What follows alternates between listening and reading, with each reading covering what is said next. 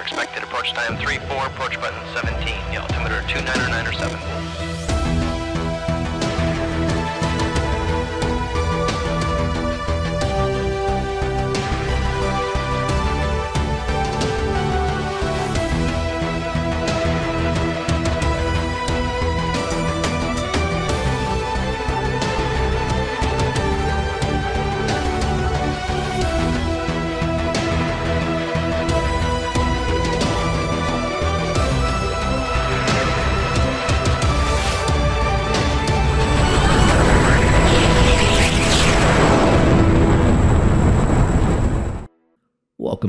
DCS Situation Report and the channel, everyone.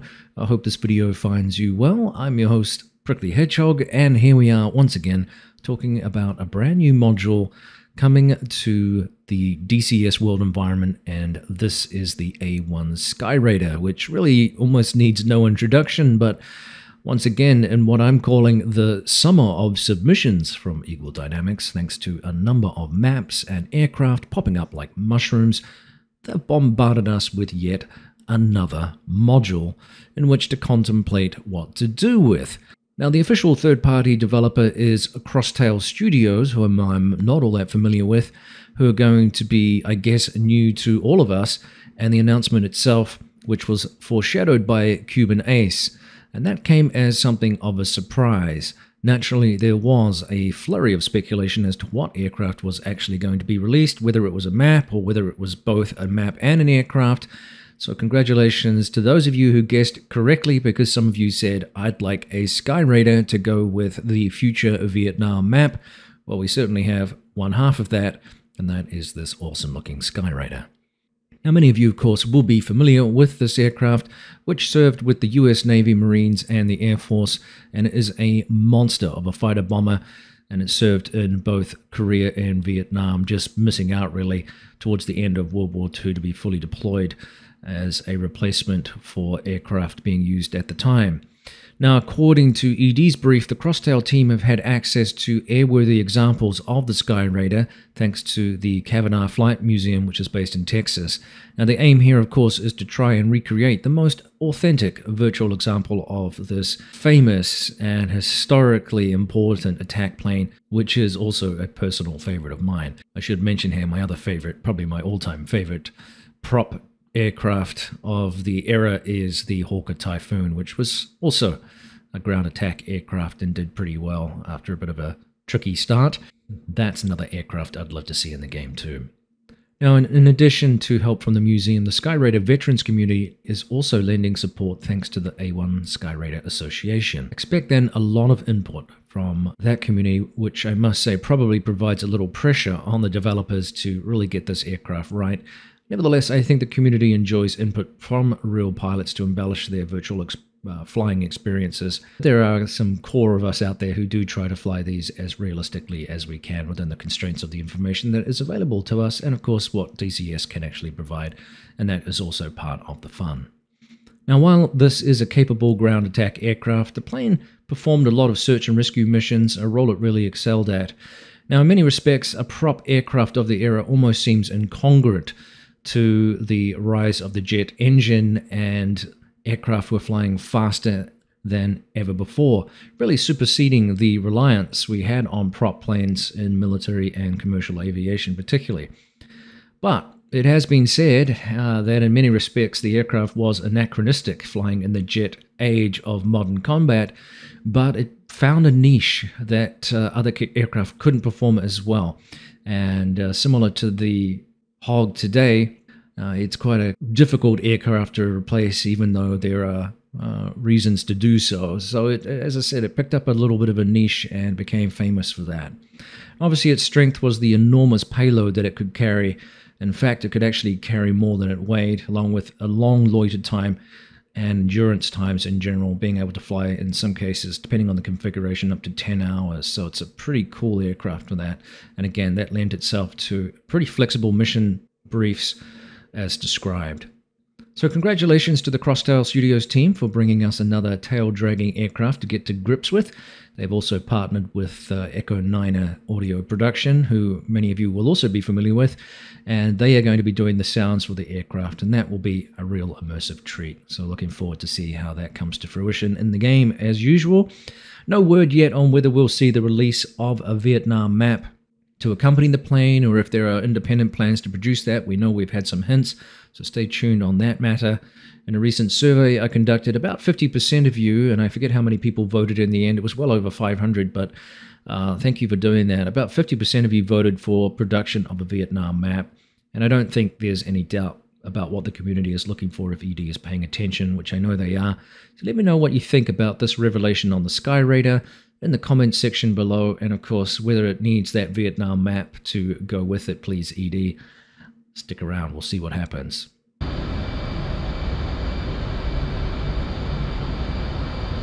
Break away, break away, break away. Contact. You're taking I would be remiss if I did not mention the fact that Split Air released their independent module this week, the Bronco, which is a free module to play. Now, you can find more information on their Discord channel about the aircraft, which is still a work in progress. Like the Skyraider, this is also a prop driven plane and also provided troop support in Vietnam, close support, and also reconnaissance roles.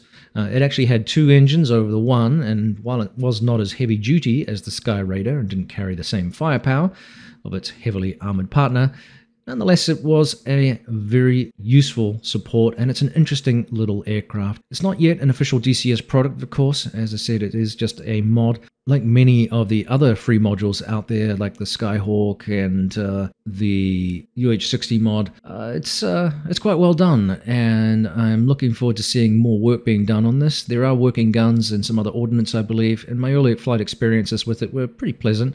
It's a great aircraft to just go cruising around in and do some sightseeing because it has a nice little cockpit while also giving you the opportunity to switch into some combat roles and maybe blow something up. You know, that's what we what we enjoy about DCS World. So I'm looking forward to seeing further development on this aircraft in the future. They're already compiling a list of early bugs, so the feedback from the community is pretty positive at this time.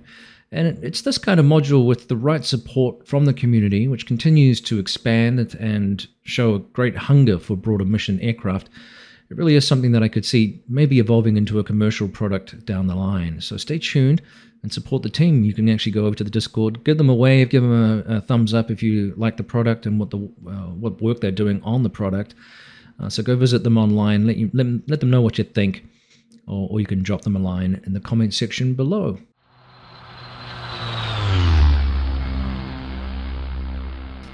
Now, another ED news work continues on the supercarrier, including the Prefly briefing room, where virtual squadrons can conduct pre flight meetings and briefings, including sharing information across tablets and also being able to use the projector. This is really, really cool.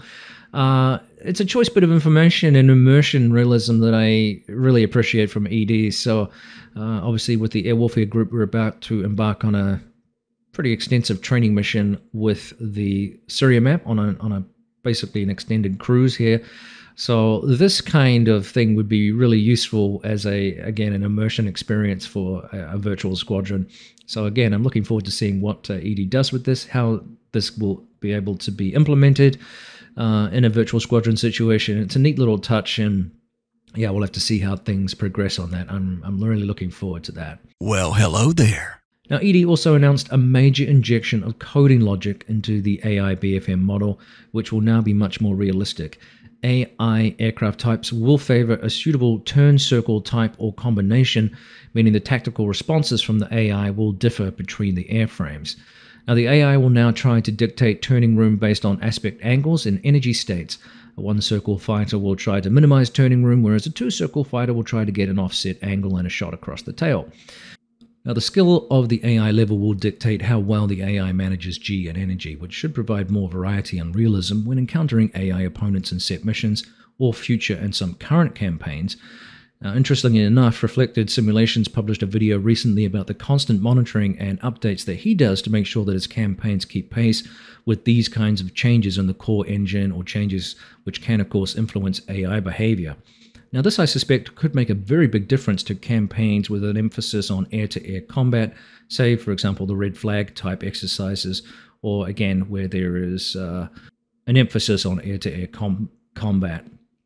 Uh, this is less likely to affect right now the World War II stuff, so don't expect any changes there at this time, but this primarily is referencing the uh, jet aircraft that we have.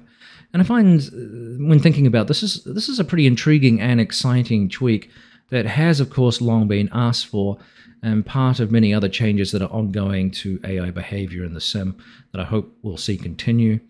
Uh, I think also it could be a little bit more of a useful exercise for for those pilots not wanting to get into human BFM combat for whatever reason, because uh, a lot of players are predominantly solo, and this is going to again provide some much more realistic experiences. I think um, behavior that you can probably mimic yourself or see uh, some examples of of how a, uh, an opponent would would behave in a more realistic fashion. So it'll be interesting to see again uh, how this is implemented and what it looks like in game. I'm looking looking forward to it.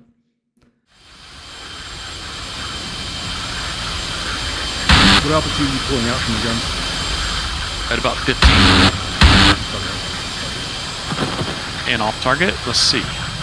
Now switching back here to Razbam, who have continued to show progress on the F-15E, which a lot of you are demanding to be released this year, and that is the plan according to Razbam, at least in the uh, earlier part of this year. And the shots that they showcased this week show some of the flexibility of the air to ground radar. And it's pretty obvious to me that this aircraft is going to dominate in this area.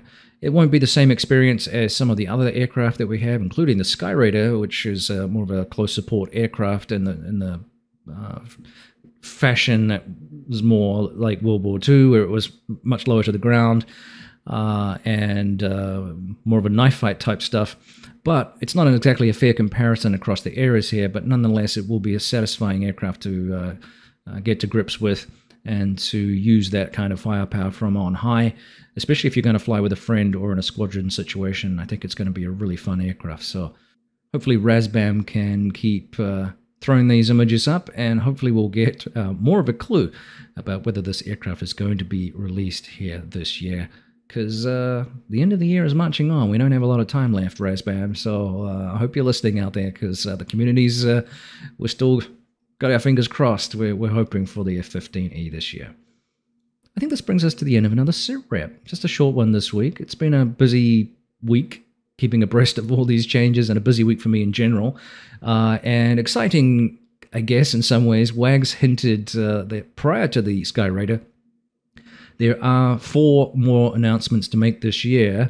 Uh, three, I guess, now if we scratch the Skyraider from the list. So lots of speculation out there as to what those aircraft or modules or whatever the heck they will be as additions to the game. And it sounds like it's going to be third party products as well. So, again, exciting times.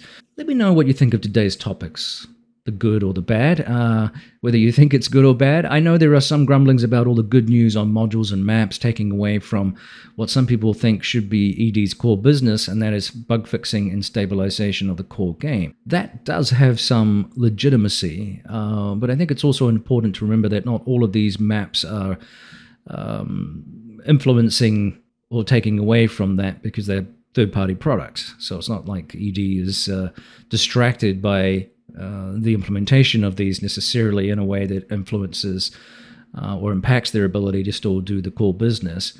I like to keep a broader fix here and would suggest that the breadth of developer, developers infiltrating the sim indicates viability with the product, for starters, because now you have people who are willing to make products for DCS World, and this year has been particularly uh, buoyant for that.